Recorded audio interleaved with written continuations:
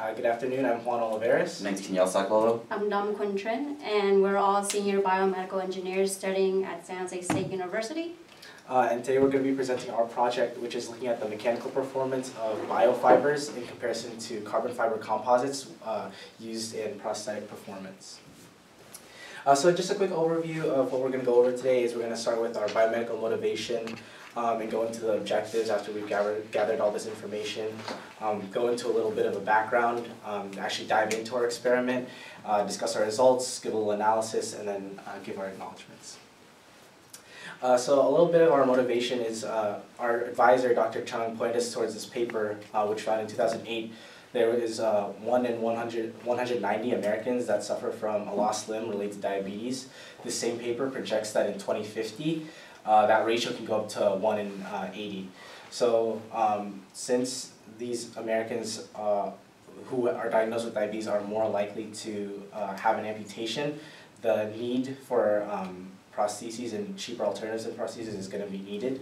Um, right now, there's a, a paper that uh, cited that um, in 2015, the O&P market, orthotics and prosthetics market, is about 1.62 billion US dollars. So there's, it's a very wide um, industry. So there's there's still room to grow. You can get a piece of the market, you know, especially if there are cheaper alternatives.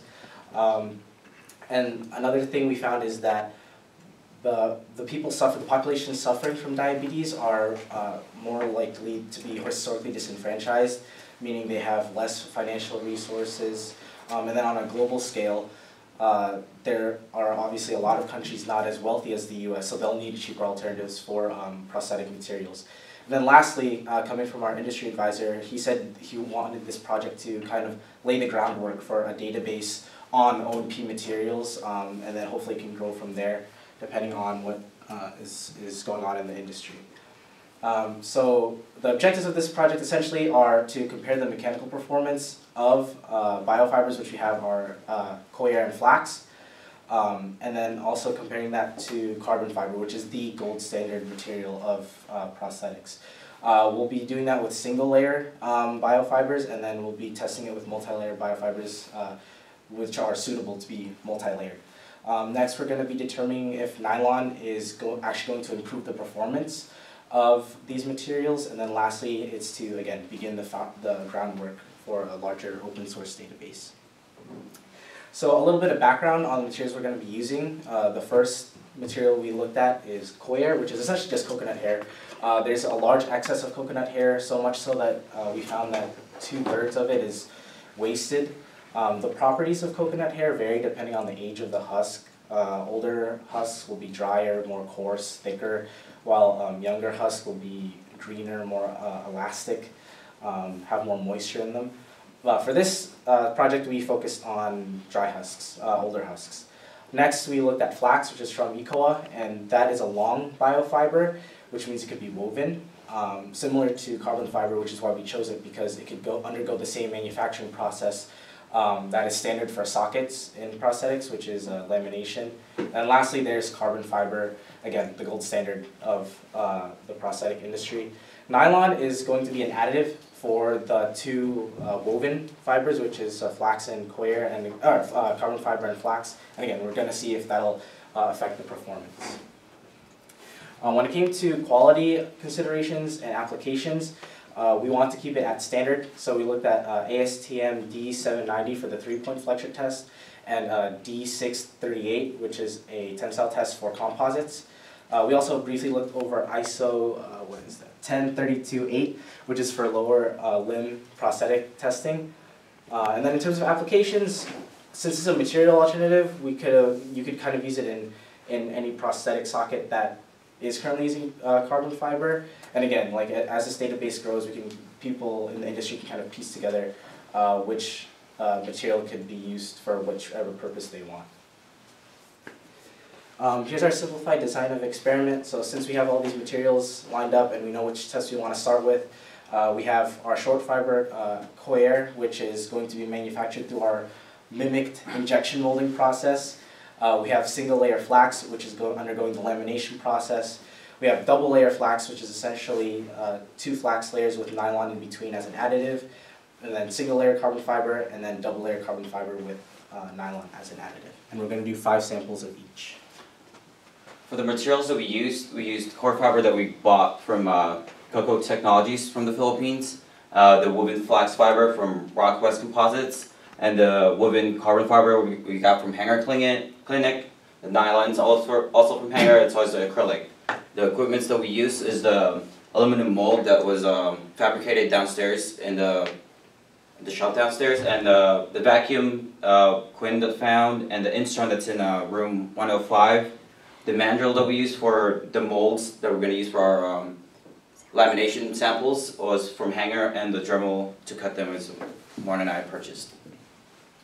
Uh, there's two uh, fabrication method. One's the short fiber method, just to mimic the um, the Injection. injection molding that's being used. Um, we use the coir for this uh, method since uh, we're only uh, the coir is not woven and um, it needs to be cut by two centimeters lengthwise or smaller, and then we did a layer of uh, resin and then a layer of uh, coir, layer of resin until our mold's filled, and then we covered it, put it in the vacuum, and um, to get rid of as much air bubbles as possible. And as soon as we removed the samples, we did a post process to uh, make sure all the edges are uh, trimmed.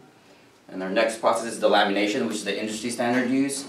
Uh, for this, we used the mandrel and we put a, vacuum plastic around it, and then the layer of our our, our fiber that we're using, then put another layer of the vacuum, and we pour the resin and turn the vacuum on to get rid of all the air bubbles. And the samples that we receive after that process will be four samples like this, and from there we're gonna um, use the aluminum mold that we had to etch out the samples that we needed, and we use the Dremel to cut them to have the samples that we desired.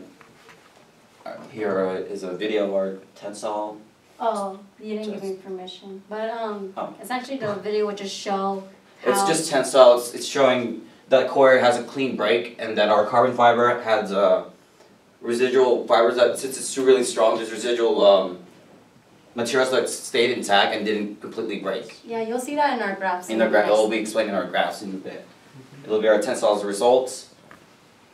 Uh, as you guys see the first look on the below, this is uh, creep due to um, the it could be user, user error or um, the machine error, and um, that means that the, when we were doing our tensile test, uh, it, it's either it wasn't completely tightened, so it's causing that, and then two of our samples that we used also break didn't break in the gauge area, which affected its um, results. Next one. This is for our single layer flax. Same thing with the creep, but most of them are in the same gauge area.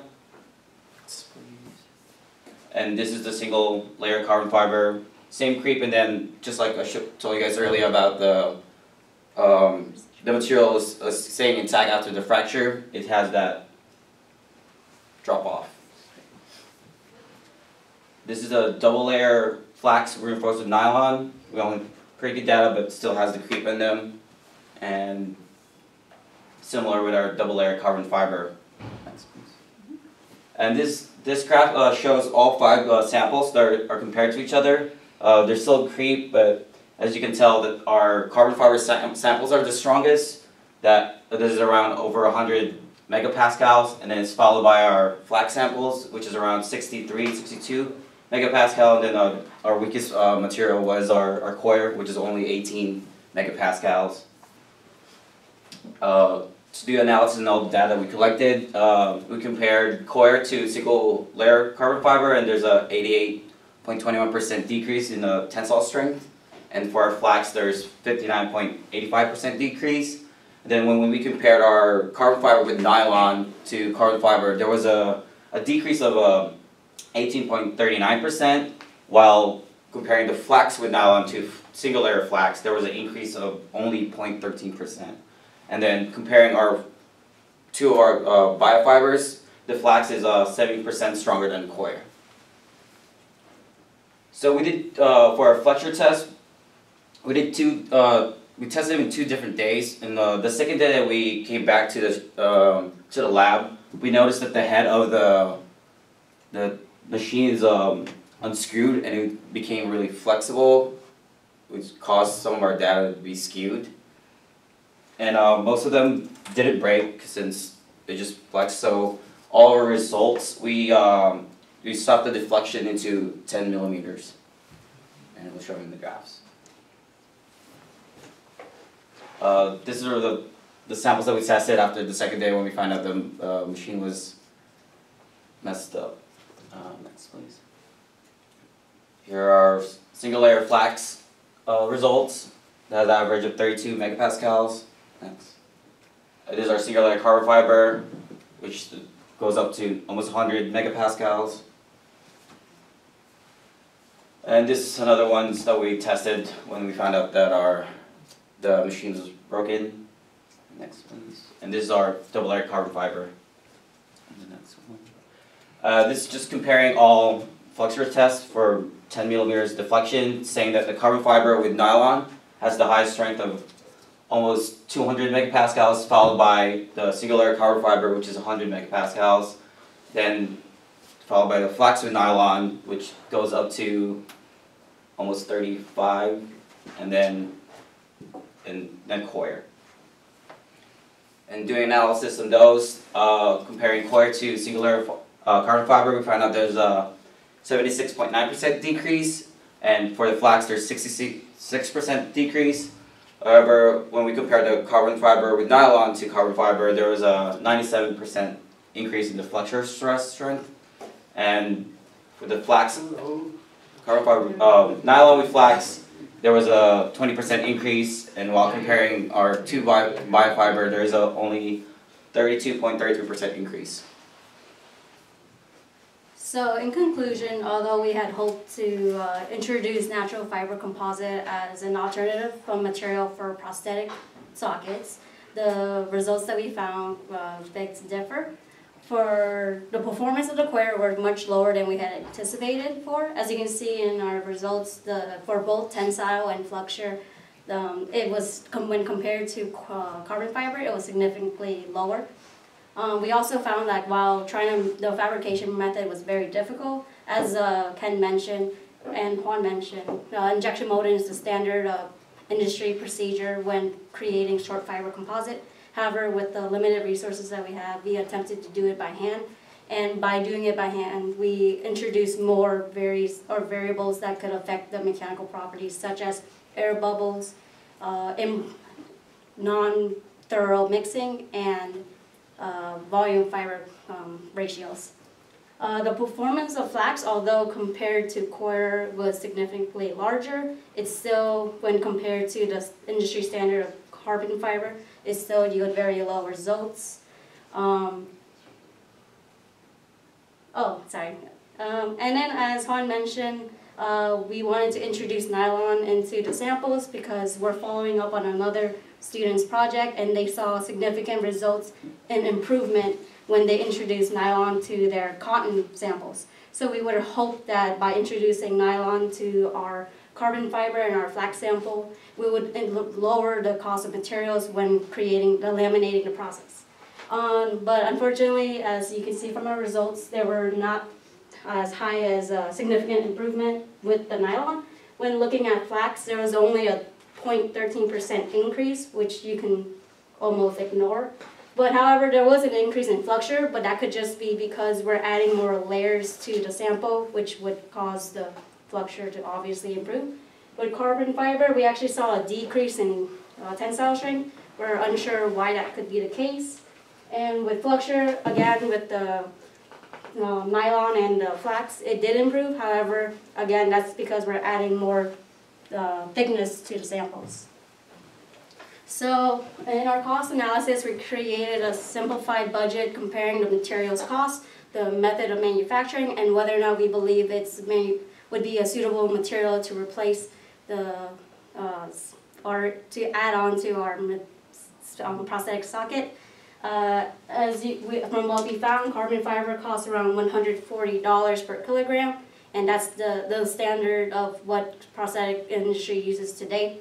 Um, unfortunately for uh, our results, coir we do not think would be a suitable material to replace it due to its poor mechanical properties along with its uh, difficulty in manufacturing with injection molding.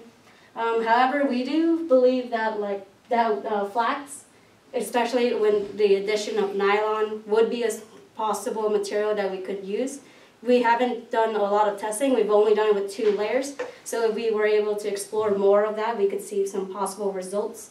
And carbon fiber with nylon, uh, as, even though we didn't see that great of um, data difference, we still believe that if we do further research, maybe adding more layers or switching the different method of laminating, we could find different results. And we also created a small or another simplified table of the labor, material, and equipment usage, as you can see in our uh, slide.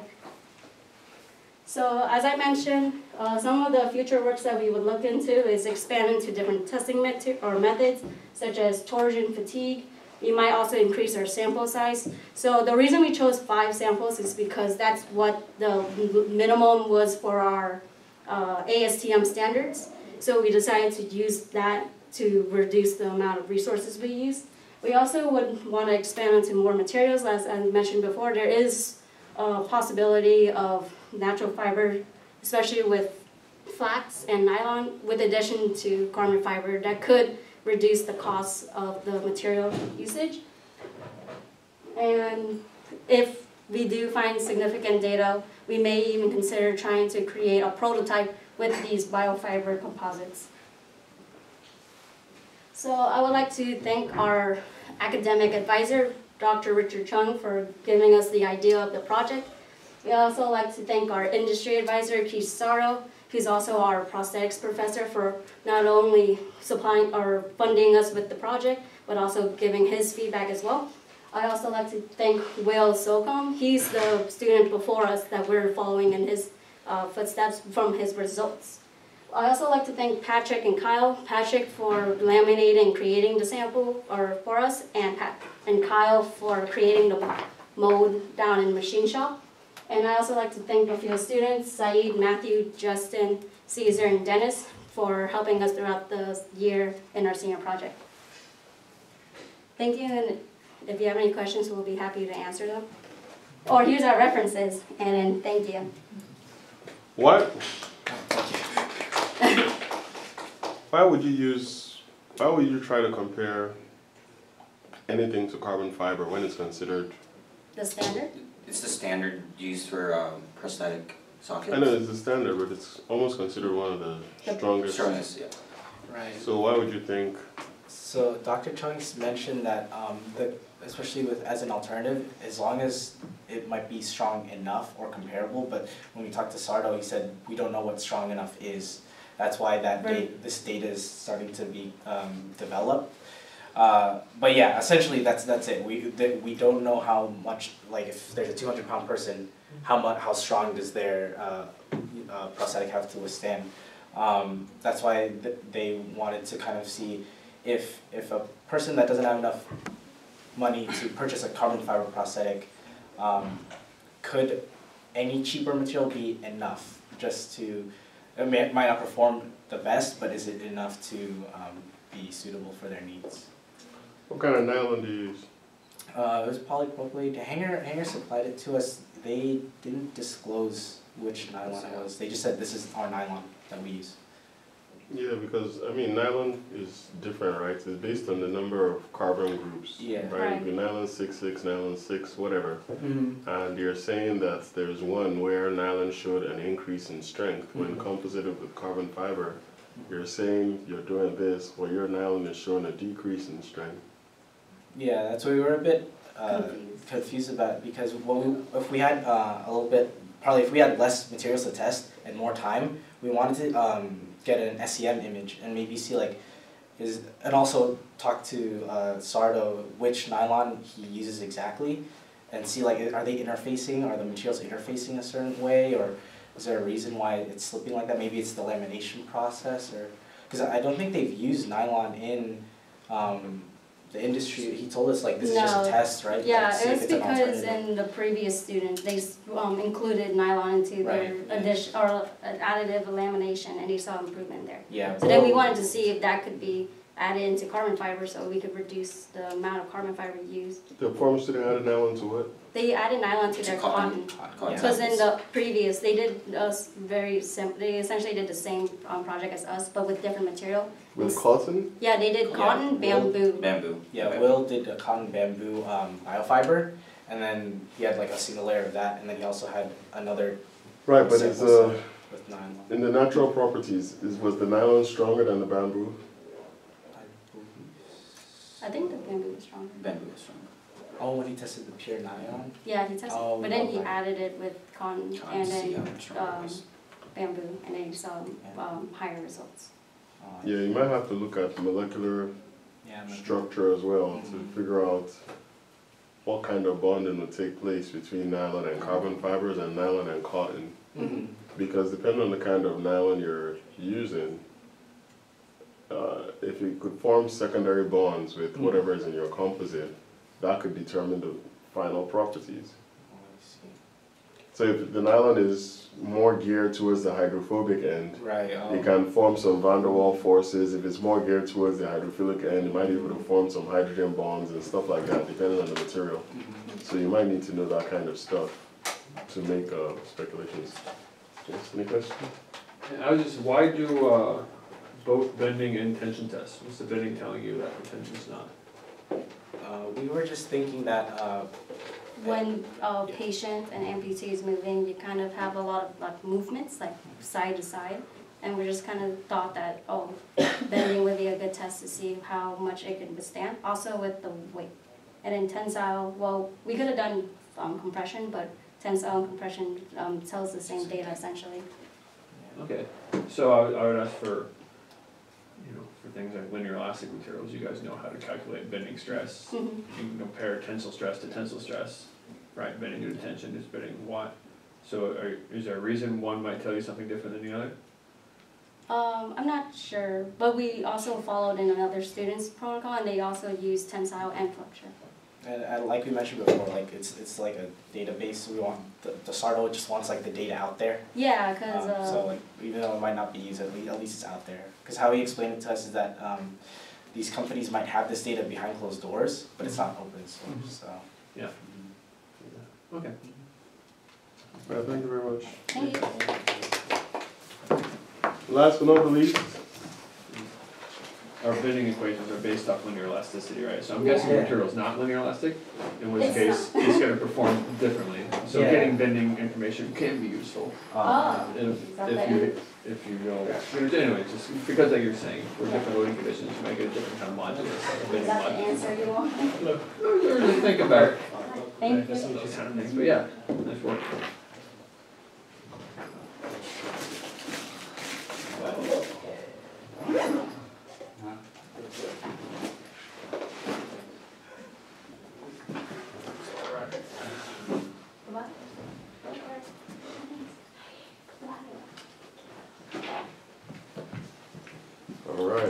Right, my head is kind of feeling warm, so expecting you guys to cool it down. Okay. We can help with that. Yeah, I kind of like wish I could just take this system home with me for personal use. You can, you made it. honest. It'd really nice. I think what I need to do is put that up just in case. So, Quynh and uh, Saklo, uh, I think you guys definitely look at the molecular structure. Yeah, actually in the, we wanted to use an SEM, uh. No, no, not the morphological structure, the molecular structure of what you're Oh, talking I'm so about. sorry. Because cotton would have hydroxyl groups that could possibly, depending on the kind of nylon you're using, you could possibly form some hydrogen bonds and make it stronger. But you need to know the kind of nylon you're using. And carbon fiber will not do that. No, it wouldn't. So- flaxseed, right? Maybe that's my conclusion. Maybe flexi could. So you need Not to, carbon fiber because it wouldn't. yeah, so if you look at the molecules, you'll be able to Computer. tell what kind of molecular interactions they have that are responsible for the microscopic proper- I, properties. I can't believe it's made in this long either. That's true. So please bear with my old